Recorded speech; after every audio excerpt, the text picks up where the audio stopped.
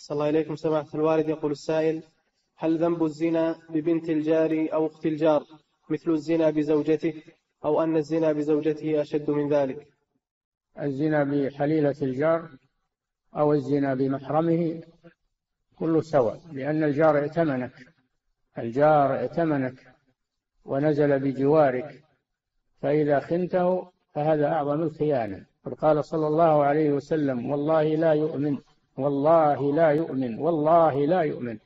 قالوا من هو يا رسول الله؟ خاب وخسر. قال من لا يأمن جاره بوائقه. الجار له حق.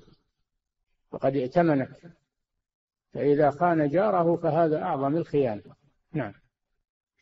صلى الله إليكم سماحة الوالد. يقول السائل تقدم معنا في سورة حتى في الجاهلية. حتى في الجاهلية كانوا يحترمون الجيران ونساء الجيران. قال وأغض الطرف إن بدت لي جارتي حتى يواري جارتي مثواها.